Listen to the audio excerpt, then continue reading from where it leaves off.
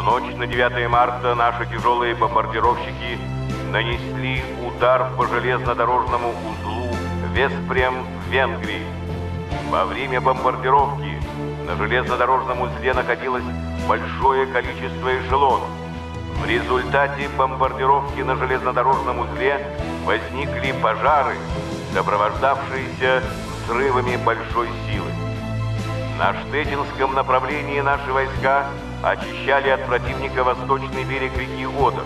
Пехотинцы и танкисты, поддержанные артиллерией, выбивают немцев из укреплений, построенных в населенных пунктах и у дорог. Только на одном участке наши войска истребили до полка пехоты противника.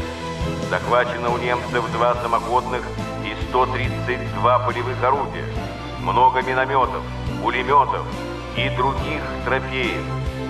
Взят в плен командир полка немецкой дивизии Меркиш Фридланд, полковник Янус.